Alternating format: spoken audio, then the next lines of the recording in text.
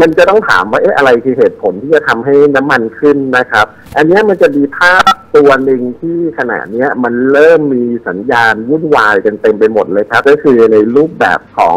hot war ครับ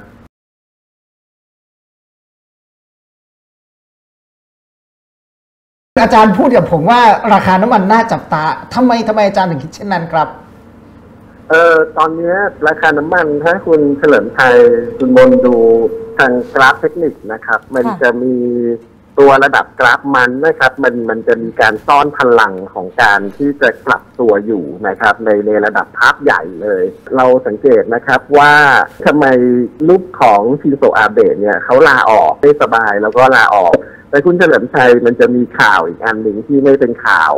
ก็คือว่าทางด้านคุณชินโซเนี่ย ได้ถูกบีบเนี่ยที่จะให้ทำสงครามกับจีน อันนี้เป็นข่าวที่ที่ที่ไม่ไม่เป็นข่าวเลยนะครับ ซึ่งไม่สามารถจะเช็คได้ซึ่งตรงนี้มันมีสัญญาณแปลกๆที่อยู่ข้างในในนั้นเนี่ยค่อนข้างเยอะนะครับ อันที่หนึ่งอันที่สองคือขณะนี้เองเนี่ยทางด้านไต้หวันนะครับ เมื่อวันก่อนนี้เรือเอเรือลบนะครับของอเมริกาเนี่ยก็แล่นผ่านนะครับแล่นผ่านช่องแคบไต้หวัน ซึ่งเป็นจุดเซนซิทีฟจีนไม่ยอมให้เรือรบอเมริกาเนี่ยเข้ามาในบริเวณนี้นะครับ อเมริกาก็ขับไปให้จีนเนี่ยได้ยิงนะฮะจีนก็ไม่ได้ยิงนะครับ ก็ก็อันนี้เป็นอีกจุดหนึ่งว่าการยั่วยุในไต้หวัน แล้วก็การที่ไต้หวันได้รับส่งมอบเครื่องบิน F-35 เนี่ยฝูงใหญ่เนี่ยกลับเข้ามาเป็นที่เรียบร้อยนะครับถ้าจะเห็นแผนที่อันนี้จะเป็นแผนที่ยุทธศาสตร์ทางด้านการอาหารนะครับ ตั้งแต่สมัยคุณโอบามาแล้วล่ะ ที่ทำภาพแผนที่ตรงนี้ไว้นะครับ อีกอันหนึ่งถัดมาเนี่ยก็คือ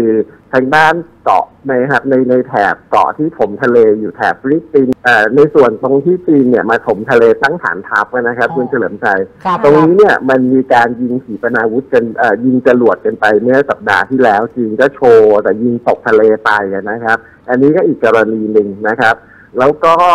ในแถบ ทางด้าน politics เนี่ยเราจะเห็นได้เลยว่าในหลาย ๆ ประเทศนะครับ ก็ถูกเอ่อเขาเรียกว่าการสร้างสงครามราคาถูกที่สุดนะครับ คุณเฉลิมชัยก็คือการปั่นหัวให้คนในประเทศฆ่ากันเองอะนะครับ ซึ่งยุทธศาสตร์เนี่ยมันใช้กันมานานละ เราจะเห็นเหตุการณ์ในฮ่องกงนะครับ แล้วก็เหตุการณ์บางอย่าง ซึ่งแถวแถวๆ อาเซียนเนี่ยก็เกิดขึ้นเหมือนกันนะครับ โดยการใช้ระบบของโซเชียลมีเดียแล้วก็ระบบ Data Analytics เนี่ยทำในลักษณะของการคอนโทรลเรื่องของวิธีคิดของผู้คนนะครับ อันนี้มันมันสามารถที่จะทำแล้วคนเหล่านี้เดี๋ยวนี้ก็คือไม่ค่อยหาข้อมูลอะไรที่ลึกซึ้งมากมาย แล้วก็ดูเรื่องของเฟกนิวเรื่องของอะไรเนี่ยกันมากขึ้นนะครับ ถัดมานะครับ ไปอีกมุมหนึ่งก็คือในส่วนของอินเดียนะครับ อินเดียกับประเทศจีนเนี่ย ซึ่งปรากฏว่าทางอินเดียกับจีนเนี่ยมีความไม่พอใจกันอยู่เดิมแล้วแต่มันมีการยุแหย่กันเกิดขึ้นนะครับ โดยเฉพาะในแถบแคชเมียร์เองเนี่ยเราจะเห็นเลยว่า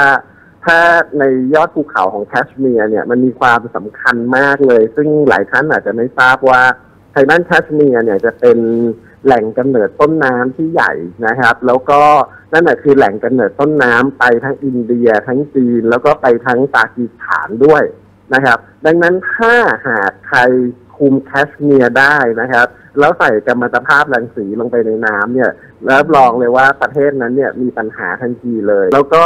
จุดที่เป็น sensitive มากที่สุดเลยขณะนี้ก็คือเรื่องของอิหร่านกับของ อิรักแล้วก็เรื่องหลังอิรักนะครับ ปรากฏว่าฐานทัพอเมริกาในอิรักเนี่ยถูกโจมตีนะครับจากขีปนาวุธของอิหร่านเนี่ยแบบตรงเป้าร้อยเปอร์เซ็นเนี่ยอยู่ตลอดนะครับทำให้อเมริกาเองเนี่ยเริ่มจำเป็นที่จะต้องถอนทหารออกจากอิรักแล้วนะครับ และทางคูเวตเนี่ยก็มีความไม่ยอมด้วย ดังนั้นเหตุการณ์ในในในอิรักเนี่ยถ้าหากเกิดจุดที่ว่าอิรักกับอิหร่านร่วมกันขับไล่ ทหารอเมริกาออกมาเนี่ยนะครับ จากอิรักเนี่ย อันนี้จะกลายเป็นปัญหาใหญ่ที่กำลังจะเกิดขึ้นในไม่ช้าเลยนะครับ แล้วก็อีกถัดมาอีกแห่งหนึ่งก็คือว่า ถ้าคุณเฉลิมชัยจำได้ว่าปีที่แล้วเนี่ยนะครับ ก็คือเครื่องบินของอเมริกาที่เป็นโดรนนะครับ เข้าไปเข้าไปบินเข้าไปสองครั้งและครั้งที่สองเนี่ยก็ล้ำน่านน้ำไปอิหร่านก็ยิงตกลงไปนะครับใช่ครับ ทำให้ราคาน้ำมันเนี่ยวิ่งขึ้นไปเจ็ดสิบเหรียญแบบทันทีทันใดเลยนะครับ ทีนี้ท่านผู้ฟังต้องระวังอย่างนี้นิดนึงว่าระบบ trade นะครับ คุณเฉลิมชัยคุณจินขณะนี้เองเนี่ยเขาใช้ feed จากข้อมูลนะครับอาอย่างเช่น feed จากข้อมูลรอยเตอร์ที่ที่เราจะซื้อ Reuters real-time feed จาก Bloomberg feed feed จาก แหล่งต่างๆ ที่เป็นสำนักใหญ่นะครับ แล้วปรากฏว่ามันเป็นข่าวเดียวกันเลยก็คือว่า มีการยิงจรวดมีการยิงนู่นนี่นั่นปุ๊บเนี่ยตัวคำสั่งในการซื้อในการขายเนี่ยมันจะเกิดขึ้นแบบ real time นะฮะแล้วก็เกิดขึ้นแบบแบบฉับพลันแบบลักษณะที่ว่าเป็น volume ขนาดใหญ่ทันทีเลยเขาตั้งโปรแกรมแบบนี้กันไว้นะครับ ซึ่ง คนที่คีย์มือหรือต้องคอยดูข่าวดูอะไรเนี่ย จะไม่ทัน เพราะข่าวพวกนี้มันจะ feed แบบ real time เข้าไปนะครับ แล้วถัดมาเราเห็นเหตุการณ์ในเบลารุสที่กำลังเกิดการประท้วงขนาดใหญ่จนกระทั่งเบลารุสเนี่ยจะต้องให้รัสเซียเนี่ยเข้ามานะครับเอ่อตอนนี้รัสเซียกำลังดูอยู่ว่า เพราะว่าเขาจับทางได้แล้วว่าถ้ารัสเซียเข้ามาเนี่ยจะทำยังไงก็ได้ให้ประชาชนในเบลารุสไม่ยอมนะครับ แล้วก็เหตุการณ์ในอีกประเทศหนึ่งเลบานอนเนี่ยนะครับ ก็กำลังวุ่นวายมากขึ้น ซึ่งอย่างในเลบานอนเนี่ยเป็นจุดที่ sensitive ที่สุดก็คือที่ราบสูงโกลานซึ่งขณะนี้ทางด้านซีเรียนะครับ แล้วก็แล้วก็รัสเซียเอง แล้วก็กลุ่มนักรบฮิซบอลเลาะห์ของเลบานอนเนี่ยนะครับ แล้วก็นักรบของอิหร่านเนี่ยเตรียมจะยกกำลังครั้งใหญ่นะครับ เข้าบุกยึดคืนที่ราบสูงโกรานหรือที่ราบสูงโดนัลด์ทรัมป์เนี่ยนะฮะที่เขาเปลี่ยนชื่อใหม่แล้วเนี่ยนะครับจับคืนมาเป็นของซีเรีย ซึ่งจุดปัจจัยต่างๆ ตรงนี้เนี่ยมันมีการครีเอทเหตุการณ์เพื่อไปเตรียมสู่ความวุ่นวายขนาดใหญ่นะครับ แล้วก็ที่สำคัญที่สุดเลยเนี่ยนะครับ ถ้าหากมีสงครามขนาดใหญ่เกิดขึ้นเลย เราจะเห็นได้ว่าขณะเนี้ยมันมีความจำเป็นคือการสร้างฐานยิงขีปนาวุธนะครับคุณเฉลิมชัยท่านผู้ชมคุณมนจะเห็นได้เลยว่า เอ๊ะตรงประเทศแถบอาเซียนเนี่ย ตรงไหนจะเหมาะที่สุดในการตั้งฐานขีปนาวุธ พร้อมกับมีแหล่งน้ำมันขนาดใหญ่ที่อยู่ในอ่าวนะครับ เพื่อที่จะทำสงครามระยะยาว ดังนั้นจุดตรงนี้แหละ ให้ทุกท่านจะต้องระวังนะฮะว่าอยู่ๆสัญญาณน้ำมันเนี่ยมันมีการขยับขึ้นมา ถ้าหากมันมีระเบิดเกิดขึ้นนะครับ มันมันจะทำให้ราคาน้ำมันเนี่ยขึ้นไปยืนเหนือ 60 เหรียญถึง 70 เหรียญนะครับ แต่ถ้ามันกลายเป็นสงครามขนาดใหญ่ ซึ่งผมคาดการณ์ว่าอาจจะ ภายในปีหน้าหรืออีกสองปีข้างหน้าเนี่ย คิดว่าคงจะได้เห็นแน่นอนเนี่ยนะครับ มันจะทำให้ราคาน้ำมันเนี่ย อาจจะทำนิวไฮเดิมเลยด้วยซ้ำอันนี้ต้องจับตาดูดีๆ ใครที่จะต้องเกี่ยวข้องกับการที่จะต้องใช้น้ำมันเป็นต้นทุนในการผลิตนะครับ สงครามที่มันจะเกิดขึ้นมาตรงนี้ วัตถุประสงค์เป้าหมายใหญ่ของเขาคือคือแบบไหนอย่างไรครับอาจารย์ครับ มันมันจะมีอยู่สามเหตุสามเหตุการณ์ที่จะต้องชวนให้เกิดสงครามขนาดใหญ่ขนาดนี้นะครับคุณเฉลิมชัย อันที่หนึ่งเลยคืออวันนี้สภาวะเศรษฐกิจของโลกเนี่ย มันมองยังไงมันไปไม่ออกอยู่แล้วนะครับดังนั้นยุโรปที่พึ่งพิงการท่องเที่ยวลงทุนเนี่ยพวกบริษัทขนาดใหญ่เนี่ยอาจจะมีเครื่องมือทางการเงินพอ แต่ว่าพวก SME ต่างๆ ในยุโรปซึ่งเยอะมากเนี่ย อันนี้กำลังจะทนไม่ไหวนะครับ แล้วในอเมริกาเองเนี่ยขณะนี้พวก SME เนี่ยกำลังมีปัญหาหนักมากเลยนะครับ สิ่งที่เกิดขึ้นในรอบปีเนี่ยเขาสร้างหนี้เนี่ยเพื่อใส่เข้าไปในระบบที่เรียกว่าอัตราสภาพคล่องเนี่ยคือทุกคนเป็นหนี้ตอนนี้คือหลายบริษัทขึ้นเป็นหนี้แบบออทามไฮแล้วด้วยนะครับ แต่รายได้ไม่เข้า อันนี้คือสิ่งที่สิ่งที่ลำบากนะครับ แล้วก็อีกอันหนึ่งคือแต่ละประเทศในโลกเนี่ยได้ก่อนหนี้ที่ไม่เกิดมูลค่าเพิ่มเกิดขึ้นละ ทีนี้จะทำยังไงกันรับมือตรงนี้หลังจากโควิดเนี่ยผมคิดว่าเนี่ยเป็นปัญหาใหญ่เลย อันที่หนึ่งอันที่สองนะครับคุณเฉลิมชัยคุณมนเอ่อตอนนี้เรากำลังอยู่ในช่วงของการเกิด disruption นะครับ disruption รอบนี้เนี่ย มันคือการเปลี่ยนโครงสร้างของระบบอุตสาหกรรมโลกทั้งหมดเลยเนี่ย ทีเนี้ยใครเนี่ยจะชนะการเป็นใหญ่เนี่ยนะครับ มันมีความจำเป็นอย่างยิ่งเลยว่า จะต้องเป็นผู้ชนะในสงครามใหญ่ด้วย ถ้าเราย้อนหลังไปประมาณ 500 ปีที่ผ่านมานะครับ อังกฤษเนี่ยที่ขึ้นมาเป็นเบอร์หนึ่งของโลกได้นะครับ ในช่วงนั้นเนี่ยคือการที่อังกฤษชนะสงครามอแมนดาแล้วก็อังกฤษชนะสงครามวอเตอร์ลูกับนโปเลียนเขาถึงขึ้นมาเป็นดินแดนพระอาทิตย์ไม่ตกดินนะครับ แล้วก็อเมริกาเนี่ยเป็นคนชนะสงครามโลกครั้งที่สองนะฮะก็เลยเขาเขาถึงขึ้นมาเป็นผู้นำของโลกได้หลังจากหลังจากสงครามโลกที่สองทีนี้มันมาถึงจุดแล้วว่า อเมริกาเนี่ยไปต่อก็ลำบากนะฮะแต่ถามว่าอเมริกาล้มละลายเลยไหมประเทศเฟลไปเลยไหมเงินดอลลาร์ไม่มีค่าเลยไหมผมไม่คิดขนาดนั้น ผมคิดว่าเงินดอลลาร์คงอ่าอ่อนค่าแล้วไม่ใช่เงินที่จะสำคัญของโลก คือไม่ใช่เงินสกุลหลักหลักเดี่ยวของโลกอีกต่อไปนะฮะคือยังเป็นสกุลหลักอยู่แต่ไม่ใช่หลักเดี่ยว ทีเนี้ยตัวเทคโนโลยีของอเมริกาเนี่ยยังไงก็ตามยังเป็นผู้นำของโลกอยู่ เพราะฉะนั้นพอเวลาที่จะเปลี่ยนผู้นำโลกเนี่ย มันจะต้องมี superpower ตัวนี้เป็นตัวนำอันที่สองคือการจัดอีเวนต์เพื่อโชว์เทคโนโลยีนะครับเนี้ยมันจะเป็นเหมือนกับในหนังที่เราเคยดูอะคือหุ่นยนต์รบกับมนุษย์เนี่ย อันนี้คือสิ่งสิ่งที่จะมันจะเกิดขึ้นนะครับ ทีนี้ disruption เนี่ยมันจะมีตัวที่ซ่อนอยู่อีกอันหนึ่งก็คือว่าคนจำนวนมากเนี่ยอาจจะต้องตกงานแล้วไม่สามารถจะรีสกิลของพวกเขาเนี่ย เข้าไปสู่อุตสาหกรรมใหม่ได้ ตรงเนี้ยแหละมันจะกลายเป็นว่าเกิดปัญหาใหญ่ในด้าน politics เนี่ยตามไปทั่วโลกเลยนะครับ ดังนั้นเศรษฐกิจตกต่ำกับ disruption เนี่ยแหละ คือเหตุผลที่ต้องขับดันเนี่ยให้ไปสู่เอ่อการเกิดเอ่อความขัดแย้งขนาดใหญ่ ความวุ่นวายขนาดใหญ่ในทุกประเทศในโลกครับ อันนี้คือภาพที่มันจะเป็นตัวดันราคาน้ำมันที่ขึ้นไปเลย ไม่มีปัจจัยอื่นนะฮะนอกจากนี้แล้วอาจารย์มองภาพเนี่ยนะฮะสงครามครั้งนี้เนี่ยมันมันจะส่งผลอย่างไรบ้างครับ เอาละหนึ่งน้ำมันนิวไฮตลาดหุ้นพังภาพกันไหมฮะเอ่อตลาดหุ้นเนี่ยจะไม่ได้พังจากสภาวะสงครามนะครับคุณเฉลิมชัยตลาดหุ้นต้องจับตานะฮะไม่ว่าบริษัทดีขนาดไหนนะฮะไม่ว่า Microsoft ดีขนาดไหน ไม่ว่า Facebook ดีขนาดไหนเนี่ย แต่อย่าลืมว่าตัวสำคัญที่สุดเลยนะ คุณเฉลิมชัยคุณมนคือระบบธนาคาร ระบบธนาคารมันเหมือนเม็ดเลือดแดงอะแล้วถ้าอยู่ๆเม็ดเลือดแดงมันหายไปจากร่างกายของมนุษย์เนี่ย มันไปต่อลำบาก ตรงนั้นแหละคือจุดจุดจะตายของตลาดหุ้นเลยนะครับ แล้วถ้าสึนามิการล้มละลายมาเนี่ย ผมคิดว่าทั่วโลกจะต้องมองเลยนะว่า หุ้นเนี่ยส่วนใหญ่นะคุณเฉลิมชัยคุณมนค่ะเขาไม่ได้เห็นในตลาดอย่างที่เห็นปกตินะครับ ผู้ถือหุ้นรายใหญ่ที่เราเห็นกันเนี่ยนะครับ มันเป็นเดบนะไม่ใช่เป็น equity ผมจะเข้ามาซื้อกิจการในประเทศไทยอะคุณเฉลิมชัยผมก็จะไปออกบอลมา แล้วก็เอาบอลนะที่เป็นเงินสดมาจดทะเบียนในตลาดประเทศไทยว่าเป็นอ่าเป็นเป็น เป็น equity เสร็จแล้วผมเอา equity ที่จดเนี่ยไป leverage ในธนาคารในประเทศไทยอีกทีหนึ่งแล้วก็เข้าไปซื้อกิจการในประเทศไทยอะสรุปแล้วทั้งหมดร้อยเปอร์เซ็นต์มันคือเดสหมด เราอาจจะได้เห็นภาพแบบช่วงปีหนึ่งเก้าสองเก้าก็คือว่าตลาดหุ้นเนี่ยอาจจะปิดไปนะฮะ อย่างเช่นอาจปิดไปหกเดือนหรือปีหนึ่งอันนี้เป็นไปได้นะฮะ เพื่อรักษาระบบ banking system ไว้ แต่อันนี้ผมมองแบบเอ็กซ์ตรีมนะ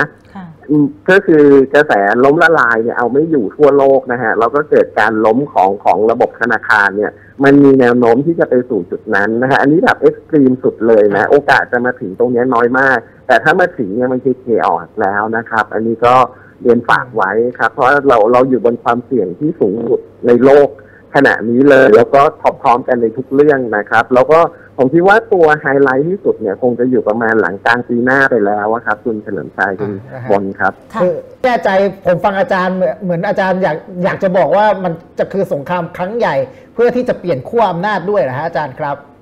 เอ่อต้องใช้อย่างนี้ว่าอเมริกากำลังจะสูญเสียอำนาจเดิมที่ตัวเองคุมอยู่ ในทุกๆ จุดของโลกไปเลยนะครับกลับ เอาง่ายๆ อย่างดอลลาร์ superpower เองเนี่ยในฝั่งของดอลลาร์เองเนี่ย เมื่อก่อนอเมื่อปีที่แล้วเนี่ยใช้อยู่ประมาณสัก 76%ของการซื้อขายเนี่ย วันนี้ใช้กันอยู่ประมาณแค่ 54%เองนะครับ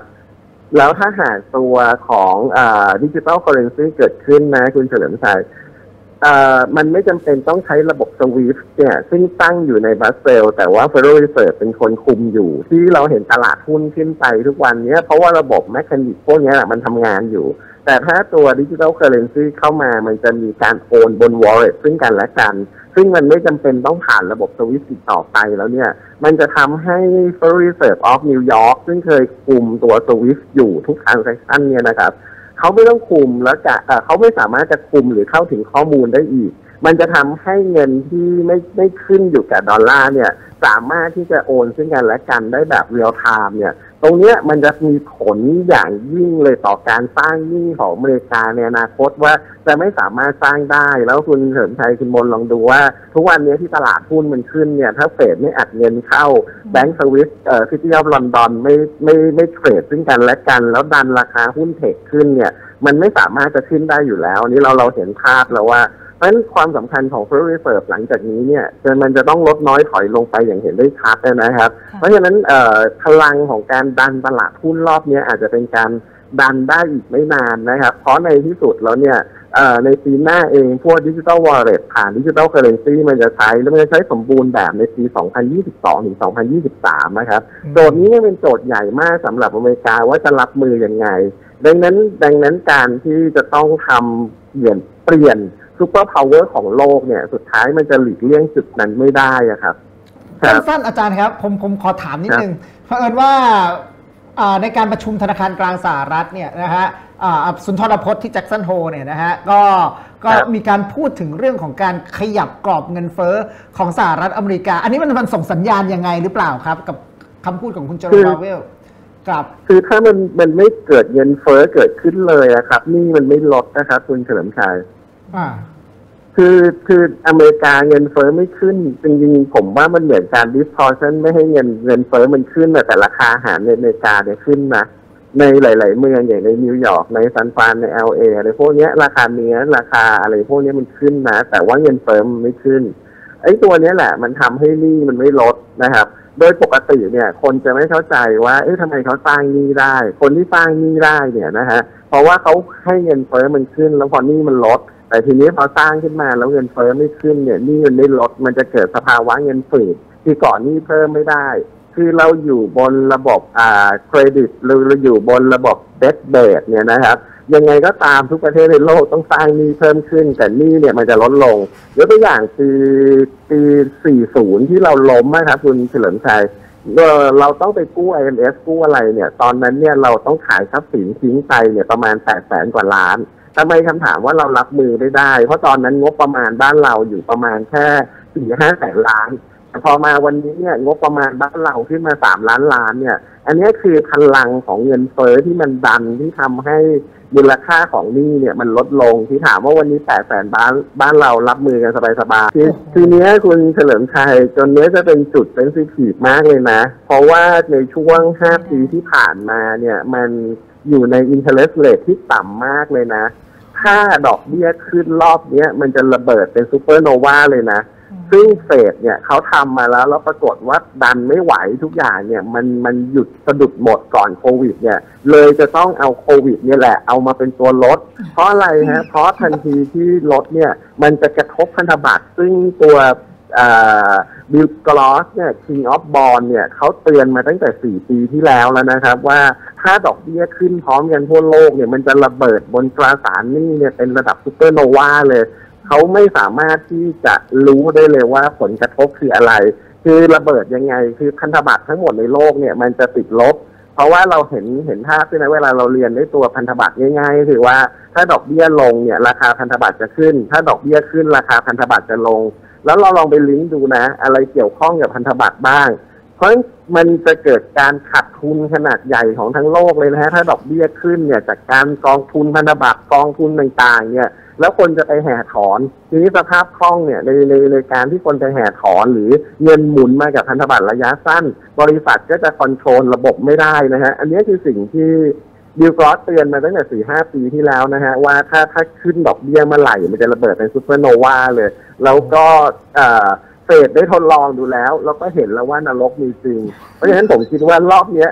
มันทำให้ทุกอย่างเนี่ยเดินไปสู่จุดความวุ่นวาย เราก็ต้องระวังกางปีหน้าให้ดีฮะเพราะอินเดียเตอร์ทุกอย่างเนี่ยไม่ค่อยดีนะครับดังนั้นฝากฝากคุณเฉลิมชัยคุณมนนิดนึงว่า ถ้าน้ำมันขึ้นเนี่ยใครได้ประโยชน์ แต่ให้ไปดูตรงส่วนคนที่เสียประโยชน์ด้วยนะอย่างอุตสาหกรรมการบินเนี่ย ผมว่า โดนโดนต้องใช้ขอใช้คำหยาบนิดนึงว่าโดนกระทืบซ้ำสองเลยด้วยซ้ำนะครับเพราะต้นทุนขึ้นแบบแน่นอนเลย อันนี้ฝากนะครับนะครับลองไปทำกันบ้านต่อกันดูอาจารย์เขากำลังจะขอซอฟต์โลนโถอาจารย์พูดแบบนี้เอานะครับ วันนี้ขอบคุณอาจารย์มากๆนะครับขอบคุณครัขบอบคุณค่ะ